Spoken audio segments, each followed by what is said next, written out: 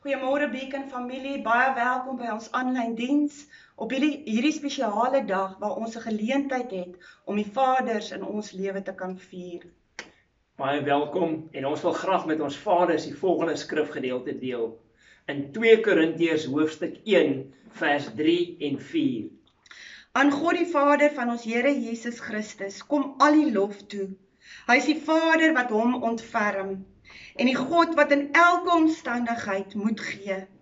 In elke moeilikheid bemoedig hy ons. Daarom kan ons ook ander bemoedig wat in allerlei moeilikhede verkeer.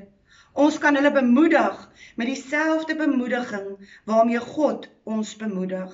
Ja manne, so kom ons as aardse vaders volg die patroon na van ons hemelse Vader. Paulus kom skryf hier vir ons oor die karakter van ons hemelse Vader, 'n karakter van ontferming en moed en hoop. Kom ons as aardse vaders wees 'n bron van ontferming en hoop vir ons kinders. Kom ons bid saam. Hemelse Vader, dankie. Dankie dat U die bron van ons hoop is. Dankie Hemelse Vader dat U ons groot ontferming is. Here, dankie vir U liefde en dankie dat ons u kinders kan wees. Amen. Vriende, kom ons aanbid die Here deur saam te sing. Vader, vanoggend wil ons net kom en ons wil net u naam groot maak en u loof en u prys want u is so awesome God. U is die koning bo al die konings en Vader, ons wil u net prys, prys u naam want u is so groot. Ons vra dit en ons bid dit nou in u naam ons ontwil. Amen en amen.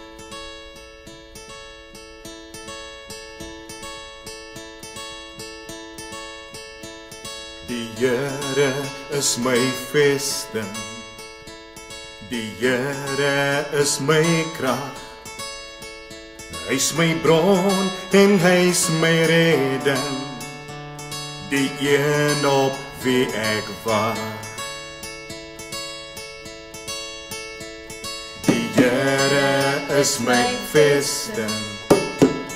Die Here is my krag. Hy's my bron en hy's my redding.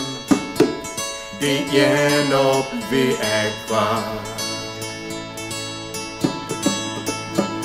Die Here is my voorspoed. Hy sal vir my voorsien. Soos 'n pastor vir sy kinders. Gee hy meer as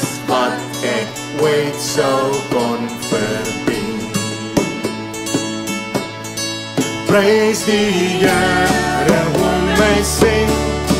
Praise die Here, want hy is goed. Praise die Here, ons wat lewe.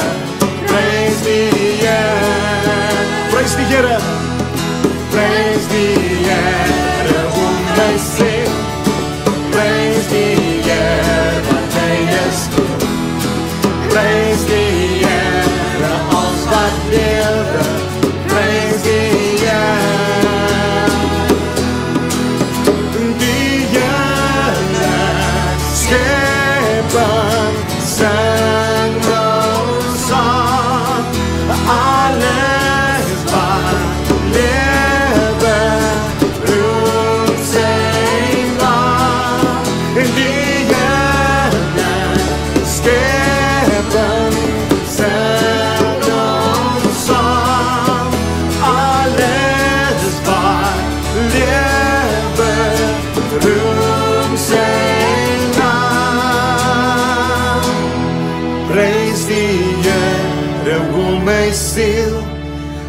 Praise die Here, want hy is goed.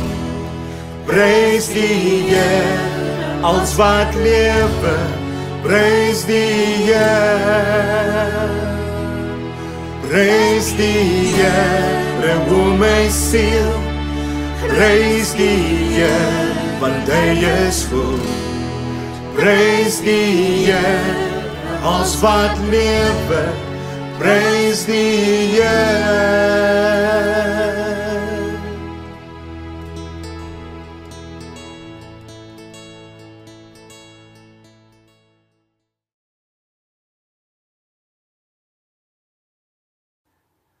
Goeiedag vriende.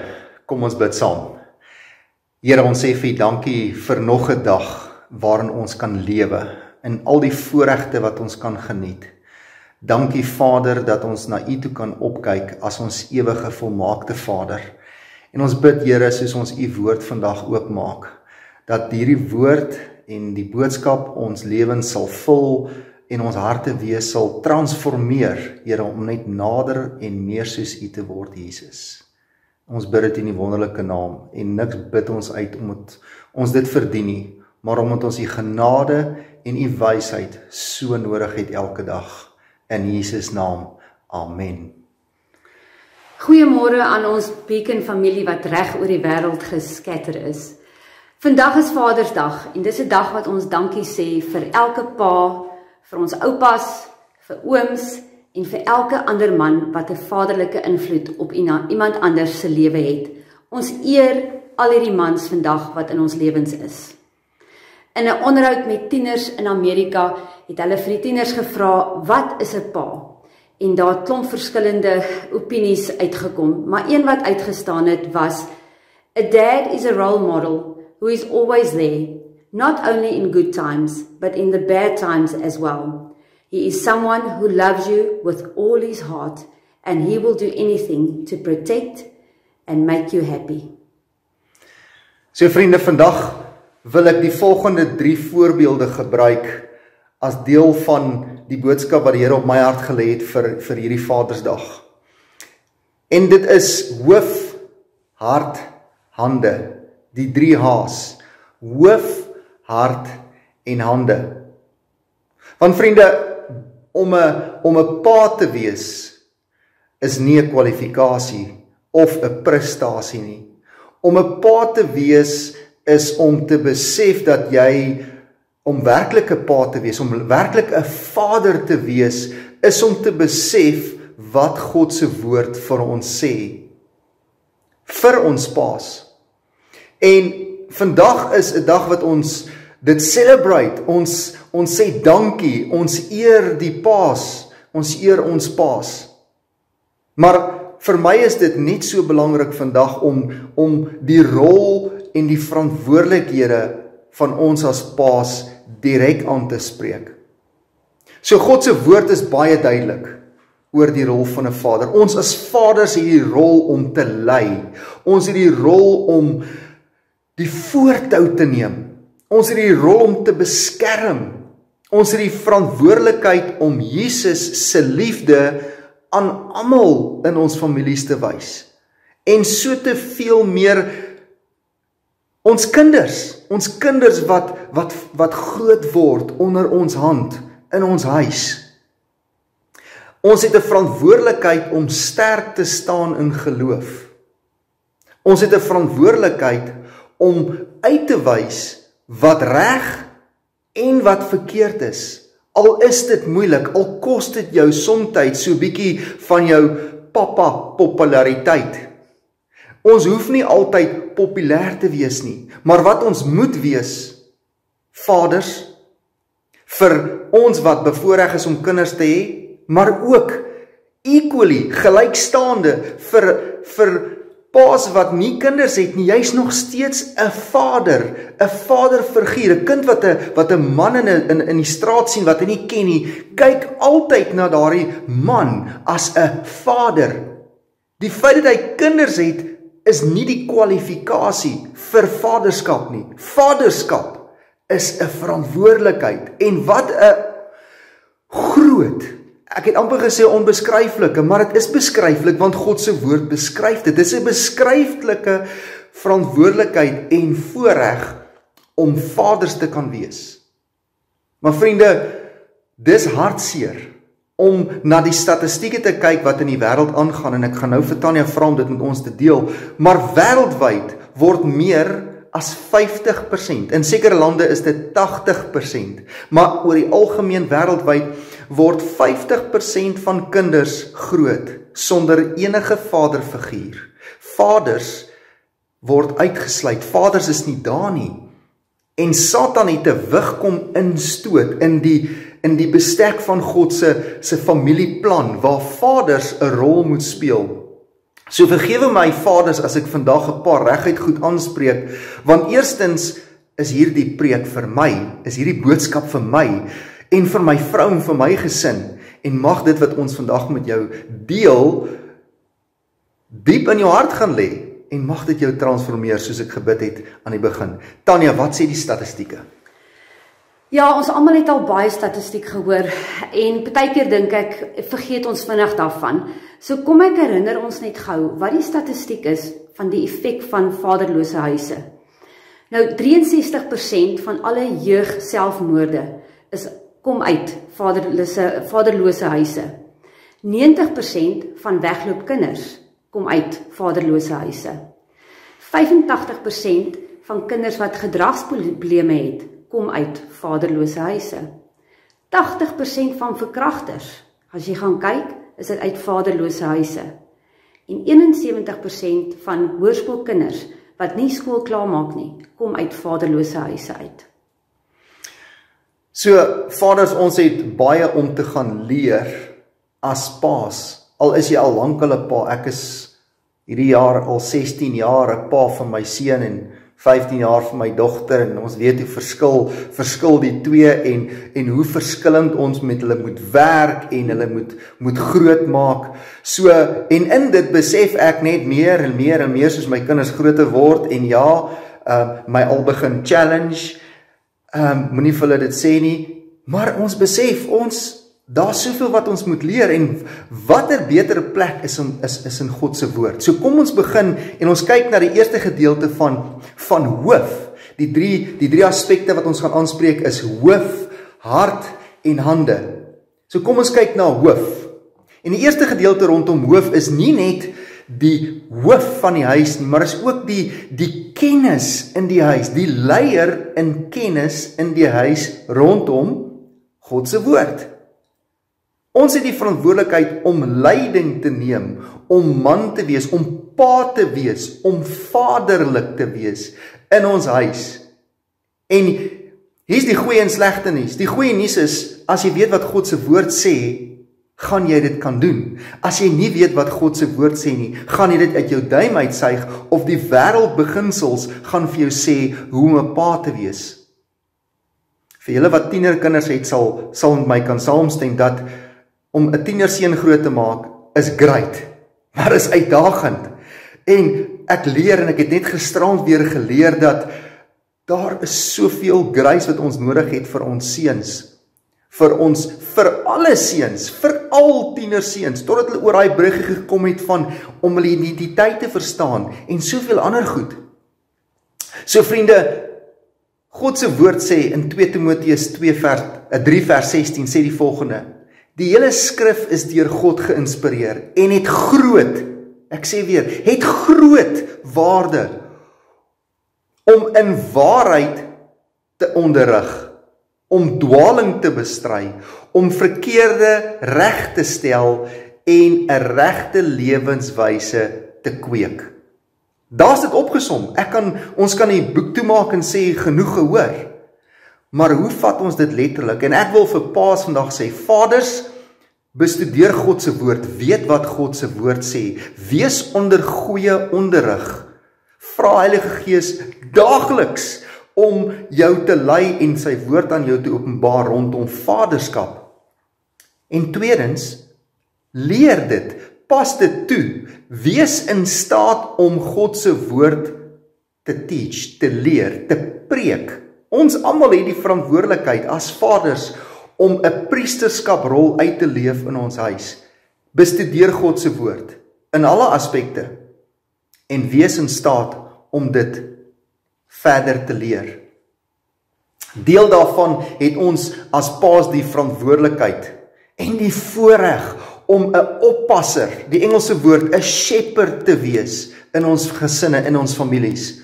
En jy kan een van twee wees. Jy kan 'n harde, geharde, gefrustreerde oppasser of shepherd wees of jy kan een wees wat dit doen met 'n besef van jou goddelike rol wat jy daarin speel. So paas, ons het die verantwoordelikheid om ons skape bymekaar te hou, om seker te maak dat die kinders in ons eie lewe as ons ons eie kinders het verseker maar die skape die maats van ons kinders of kinders met wie ons te doen kry om hulle bymekaar te trek om vir hulle te wys waar hulle moet wy. Moenie toelaat dat hulle in die verkeerde weivelde instap nie. Wys vir hulle waar die afgronde is. Wys vir hulle wie die verkeerde skape of soos dit die woord sê is wie wees in staat ouers, spesifiek vaders, wees in staat om te kan onderskei tussen die bokke en die skape. Speel 'n rol in die restaurasie van gebroke kinders. Daar is baie stikkende alleen kindertjies in hierdie wêreld wat wanneer hulle 'n man in die straat sien, hulle bang word hulle nie kan assosieer met 'n vaderlike rol nie. En daar sê God se woord wat die ultimate rol van vaderskap so demonstreer op 'n amper onbeskryflike manier Johannes 3 vers 16 dat God ons so lief gehad het dat hy sy seun gestuur het vir ons. Sodat ons as paas kan besef wees dienend wees sacrificial in die rol van vaderskap. Gee om vir kinders ryk uit. Wees 'n pa wat sy wat sy wat sy kinders wat kinders beloon. Wees dankbaar. Wys jou dankbaarheid vir jou kinders. Reward your sheep. So vaders ons het 'n oppasser rol in die verantwoordelikheid in vaderskap. Die tweede gedeelte wat na aan meer vrouens as mans se harte seker is waarin ons soveel het om te leer is die hart. So die hoofgedeelte lei leer. Volgende gedeelte hart Tanya. Ja, ek dink nie altyd besef ons hoe maklik ons iemand se hart seermaak nie. Ehm um, mense sê so maklik woorde wat deur jou hart sny en deur jou kinders se hart sny. As ons kyk hier na Efesiërs 4 vers 2, sê die woord: Wees altyd beskeie Wees vriendelik en geduldig en verdra mekaar in liefde.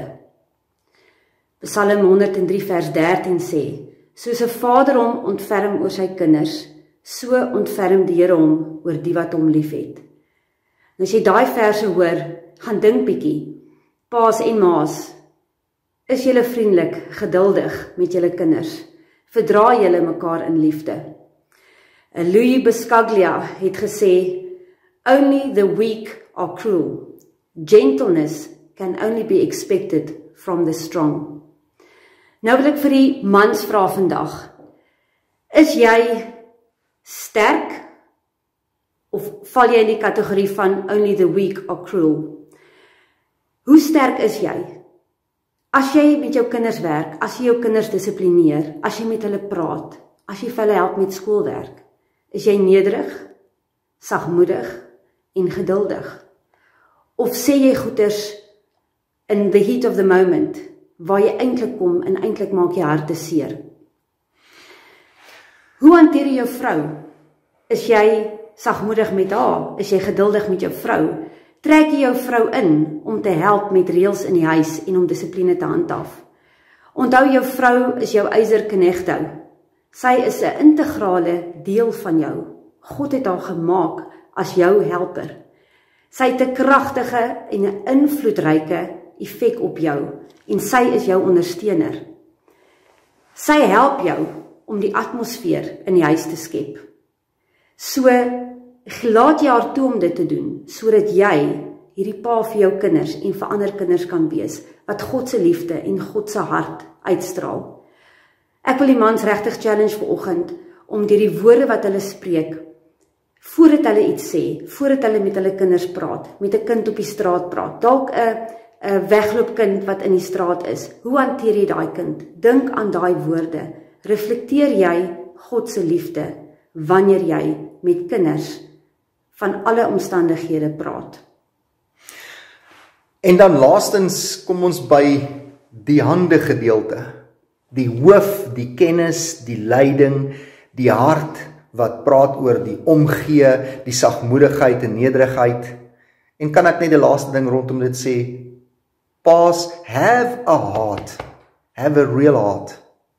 'n Regte man is 'n man, 'n pa wat kan liefde wys, soos wat God liefde aan ons gewys het en nog steeds bewys deur sy seun Jesus Christus. So die laaste gedeelte is is hande en alles wat ons tot dusver gesê het is is pragtige woordjies. Maar as dit nie tot uitvoering kom nie, beteken dit absoluut niks nie. So die hande gaan oor die gedeelte van doen.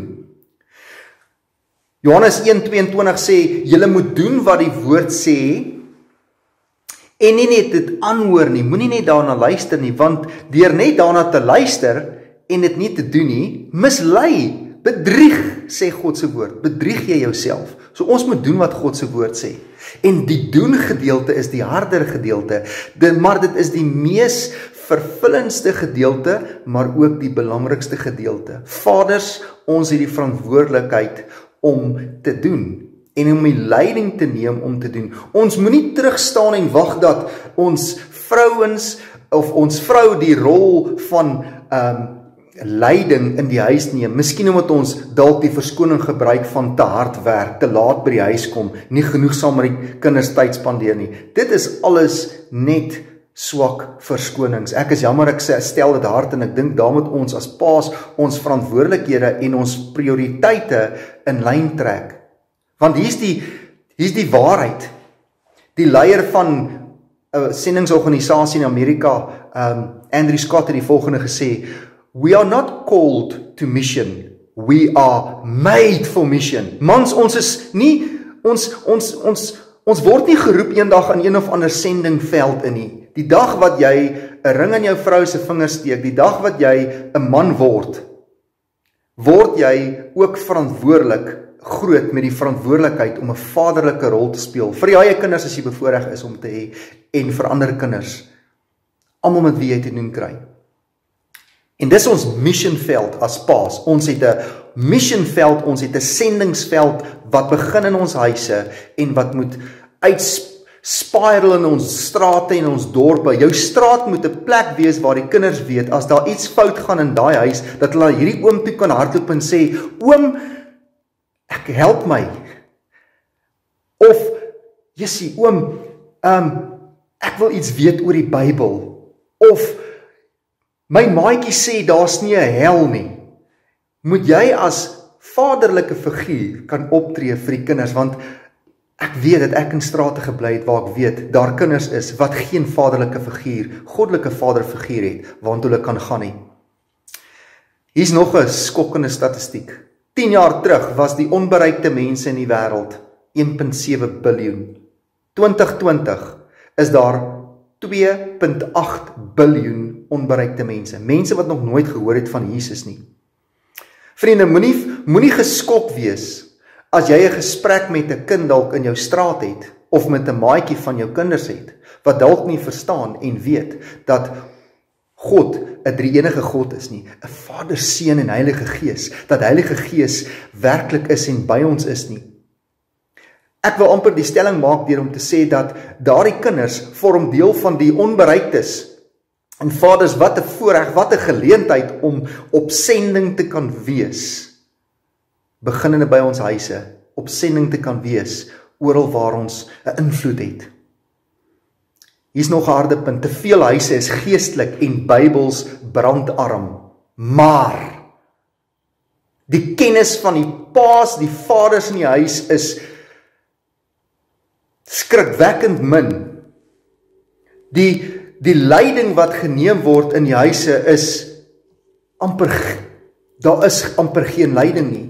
En as jy 'n pa is wat dit wel doen, great. Vrouens eer julle mans vir die feit dat hulle gaan en tyd spandeer in God se woord. Gun hulle tyd om hulle self te skool in God se woord. En ek sê dit half tongue in the cheek Want ons altyd het lyksies om te dien. Ons weet mos wat beteken huwelik in 'n sekere sin van huwelik, jy moet vir my dit doen en huwelik jy moet vir my dat doen. Maar dis ook goedjies wat gedoen moet word. Maar as dit kom by om onsself te skool in wat God se woord sê, laat jou man toe om tyd in God se woord te spandeer.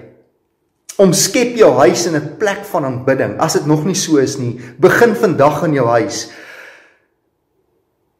Maak jou huis 'n kerk. Maak dit 'n plek van aanbidding waar jy as gesin kan aanbid en deur julle dade aanbid julle God. Die dinge wat julle doen en sê, is dit 'n plek van aanbidding. En paas bid vir jou gesin. Bid vir jou kinders, bid vir jou vrou en doen dit gereeld. God se woord gee vir ons pa se opdrag dat ons 'n seën moet wees en dat ons 'n seën moet bid oor ons huis, oor ons kinders en verseker oor ons oor ons vrou. So daarom wil ek jou aanmoedig vandag en ek gaan dit nou met Tanya doen dat as jy dit nog nooit gedoen het nie, begin vanaand, begin vandag. Let them sit in front of you. Laat hulle neer neersit sit voor jou en en bid 'n seën oor hulle. Daar's 'n daar's 'n webwerf www.crosswalk.com wat honderde skrifgedeeltes het wat jy kan gebruik om te seën. So vaders, vat die verantwoordelikheid. Be the head, wees die hoof, wees die hart, wees die hande, wees op mission, wees op sending in jou huis met jou kinders, met ander kinders en almal met wie jy te doen kry. So in ter afsluiting gaan ek hierdie seën oor Tanya bid. Lord Jesus, I pray that you will give Tanya courage. Here dat U vir dat U vir krag sal gee, dat U haar braaf sal maak, dat U haar sal help om nie bang te wees nie. Soos die woord in Josua 1 vers 9 sê, dat sy nie bang sal wees nie, dat sy nie um bang sal word wanneer die wêreld gooi lelike goed na haar toe gooi nie. Maar Here dat U deur dit en deur die krag wat U vir haar gee, dat U vir haar vrede in haar hart sal bring en dat sy altyd daarna sal streef om u wil te doen. Ek bid dit in Jesus naam. Amen. So vriende, mag julle 'n geseënde dag hê. Paas, as jy die voorreg het om vandag 'n pamperlang te word, great, maar saam met dit onthou, vat die hoof, die hart en die hande rol ernstig. Wees op missie. Wees geseënd.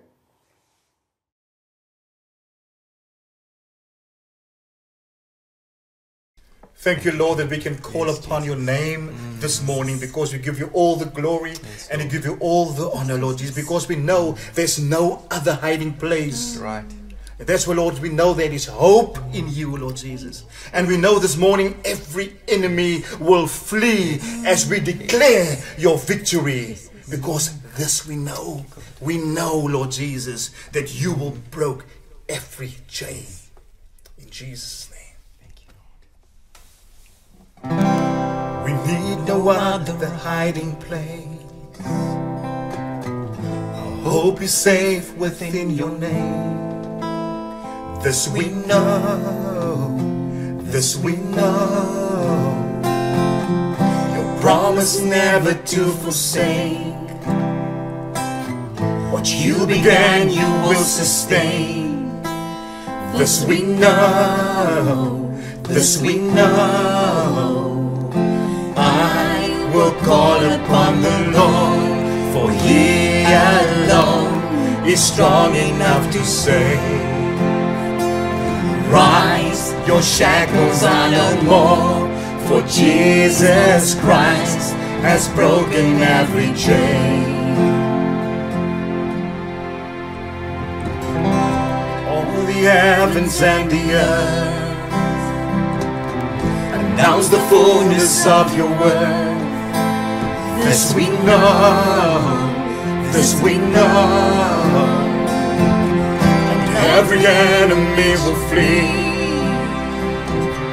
So we declare your victory. This we know, this we know. I will call upon the Lord, for He alone is strong enough to save. Rise, your shackles are no more, for Jesus Christ has broken every chain. I will call upon the Lord, for He alone is strong enough to save.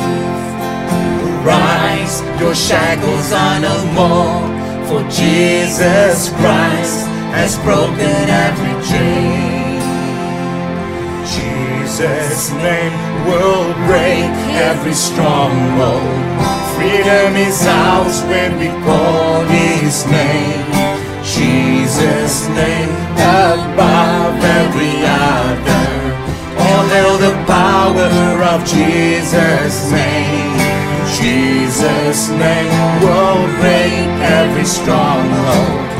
Freedom is ours when we call His name. Jesus' name above every other. All hail the power of Jesus' name. All hail the power of Jesus' name. I will call upon the Lord, for He alone is strong enough to save. Rise, your shackles are no more, for Jesus Christ has broken every chain. I will call upon the Lord, for He alone is strong enough to save.